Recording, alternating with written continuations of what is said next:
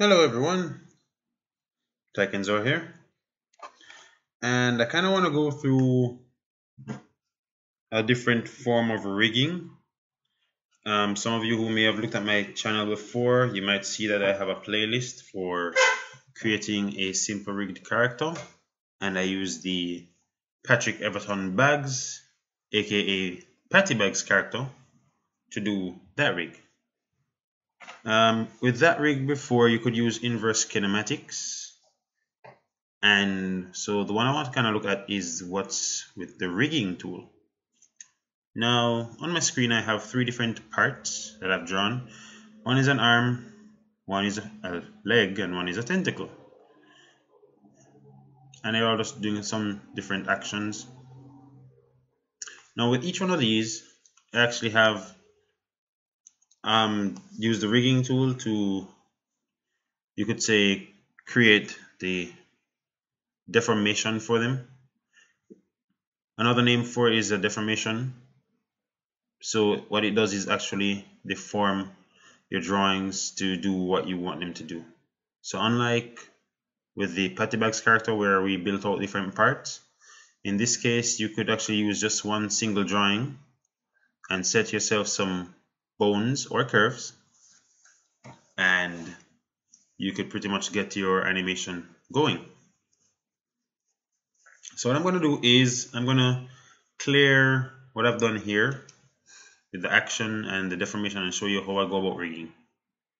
The one for the, before I do that though, the one I did for the tentacle is a curve deformation. It uses um, curves to deform this appendage here and it's best used with um, soft body appendages. Like you could think of an elephant trunk or a carpet or a rope or a chain something along those nature.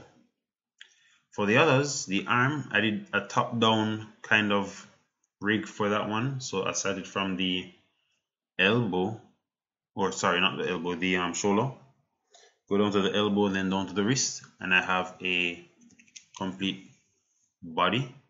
I'll just kind of show you what each of these look like.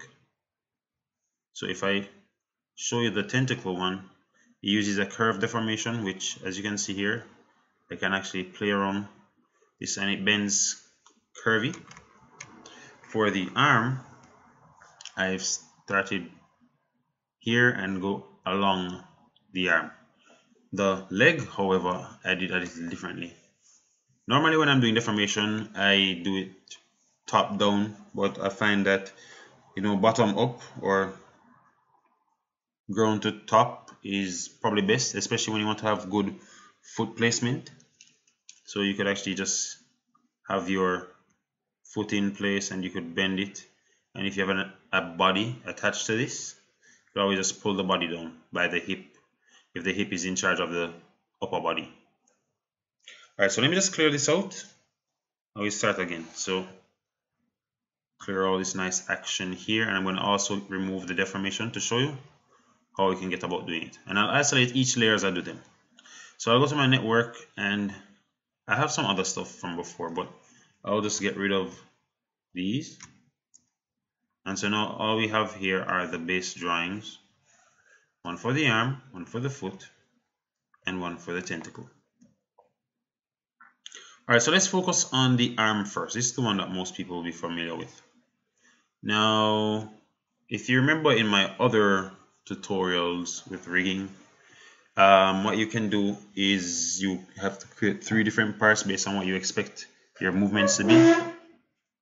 If you have a more complex appendage, you end up with more parts. And don't even start mentioning even the patching, because you have to know where to patch. But in this case, I really didn't do a patch. I just had a solid color arm, like a claw, you could say. And so the rigging tool is really up here.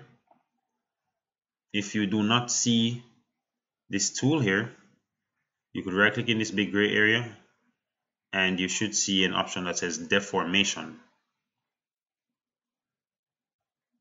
Alright, so I'm going to click on that.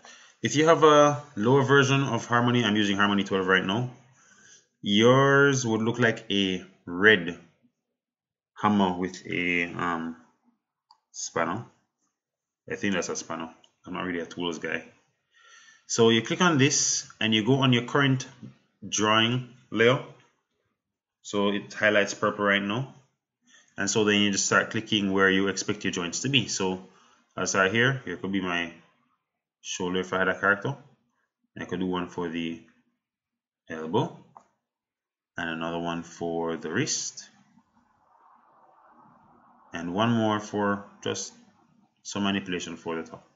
Now once you've done that, you can pretty much just get your transformation tool. You start from here and we just start working from there. So perhaps we could have this arm bent down like so. And you'll notice I kind of have to use a forward kinematic approach where I have to control the parent and then go down to the children to put exactly where I want. I suppose what one difference with this is that you can actually extend your bone by clicking on that nice little square that you see here and you'll also notice that you also have a little diamond here where there's a radius this actually is the radius of the joint and the bigger that radius is the more curved your um, bends become. So right now if I come here and let's say I'm not going to be using the transform tool to do this. I'll just go back to rigging just so I can edit the bone how the bone works and I could just come here when it's ready. That's in bone editing mode. So I can increase this up to this and go back to transform. It goes back to my first keyframe. And you'll notice there's this nice curve going on because the radius of the joint is much bigger so we bend this in. It's a nice feel. Sometimes that's used as a cheat to um, not have to deal with doing a proper patch. But sometimes it's good to keep with good practices so that you know follow good industry practices. All right so let's bring this down or rather just remove this keyframe. Now the parts that you're seeing are one is the offset where you have a plus. That's the first part that you click offset allows you to move everything all at once. You could say it's kind of like treating it as if you had a peg controlling the entire arm. Um, this would be the bone. This is your next point. This would be another bone. And if you actually go inside the network into your deformation you actually see it. So we have bone bone bone right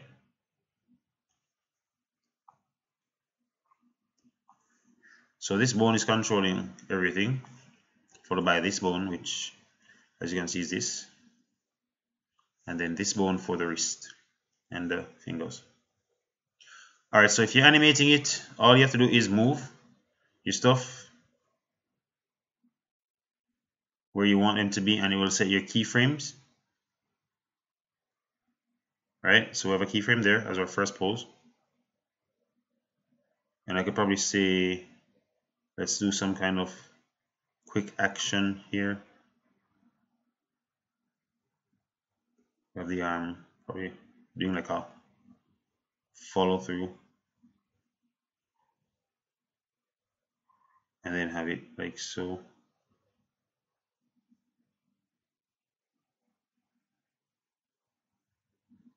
And I give it some space add a keyframe and let it just go by really quickly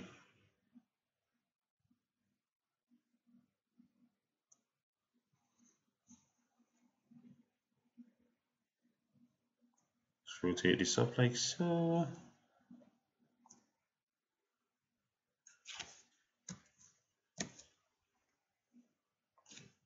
To zoom out, I get an action somewhat like this. And if I want it faster, of course, reduce the amount of time between the actions.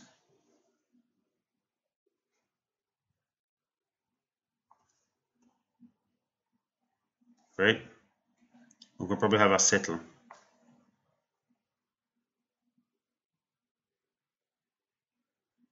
So you can't use inverse kinematics with this, unlike with the Patibag's character.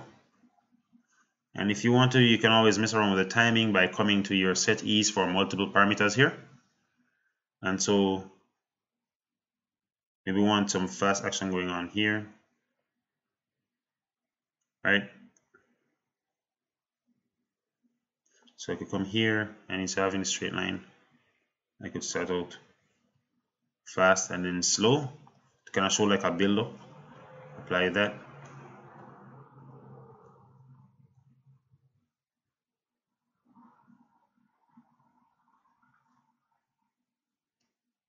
Go along with this. Want some really fast action going on. I'm hoping this goes well. Okay. And then we could probably settle with this one. So, and slowly apply. So now we get something like this. Alright, that's our first deformation. The next one, I could try with the foot. Right? So that's the arm. Um, you notice it's kind of grouped here now. Deformation arm. Deformation attached to the arm.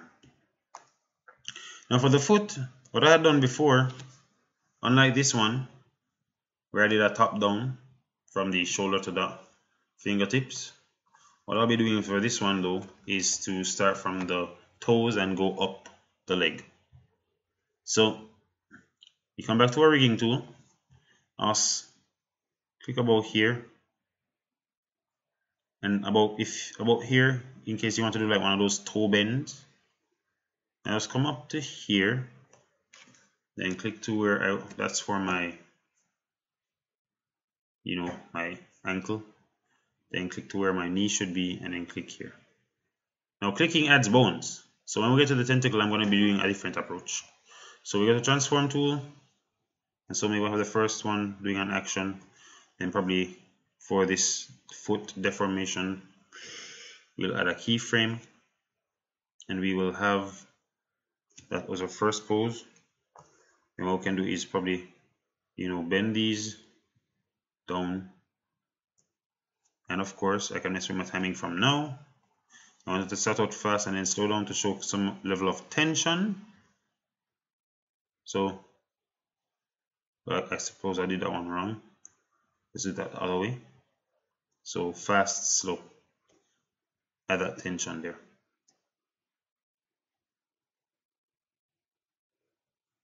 Probably have it shoot up to be on its tiptoe. So could bend this up like so.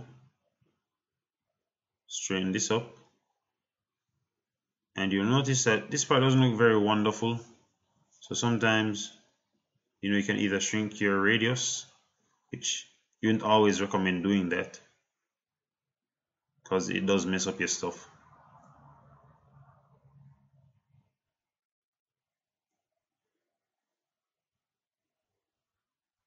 So here, to bring this down like so.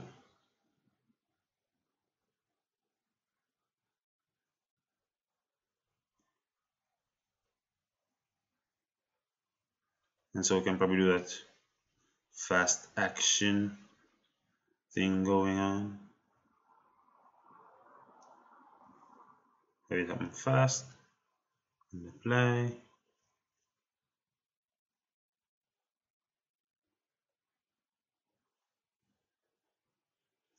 so now we have two actions. So now I can just take my offset from here because I haven't set a keyframe for it and it won't move. But if I did I could do something like this. And then say we come here you know we could have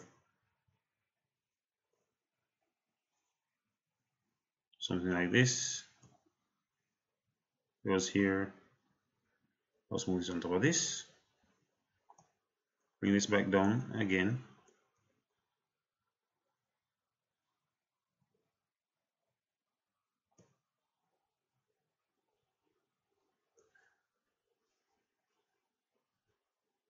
right so if it's not perfect you can always undo what we don't like. Right so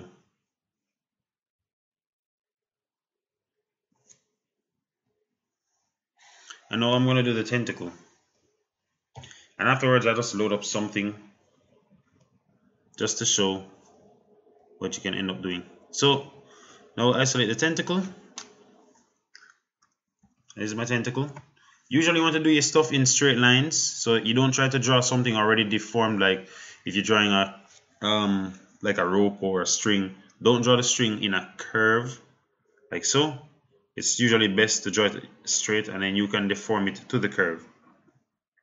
So now with the tentacle that's showed before um, same rigging tool only this time instead of just clicking and clicking if we just did clicks, we could still easily get that bone going on. But this is too stiff, right? So we want something that kind of curves. So what we'll do instead now is the same rigging tool, we're going to go on the tentacle. We're going to click and drag or point. So click and drag. Don't let go, just drag. And then over here, we can have click and drag. I'm not dragging forward because if I drag forward, it's going to have this curve. So I'm dragging back. And so that's done. Once you have your transform tool, you kind of have these little tangents you can work with. And you can work like a spline action of sorts. Or spline pose. Let's say we start it down here. So you move this up how you want you know add a little tension in here.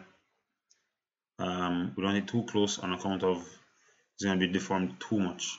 But if necessary what would have been probably better is if we added um, three points. So let's undo that.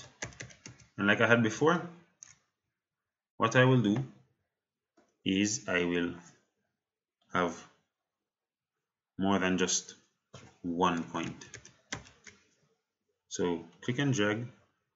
About there on about midpoint drag back. And also up here drag back. And so now I have three points. And this is how you do deformation. So just like before you can probably set ourselves a keyframe. And then we just pull this back to let's say we had this level of tension going on using that word tension. Right?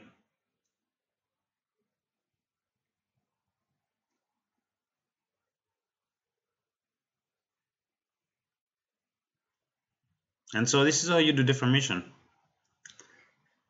Now I usually recommend going with two. I would recommend going with two points if you know you don't really fully understand it.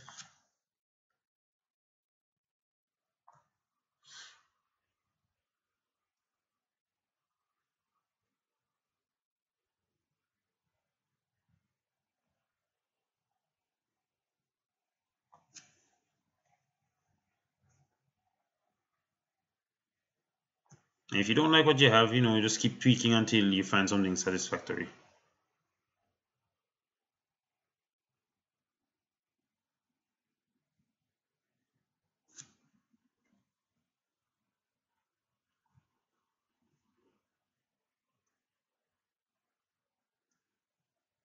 And of course, you notice here has some problems, so patching would be good for there. Well, it just takes practice, applying the principles using your slow in, slow outs, working on your timing, and that's how you would get about doing a, you know, a deformation. So thank you for watching. Um, in the next video, what I'm going to upload is going to be what a full character, a full basic character would look like doing a deformation. So thank you for watching and take care.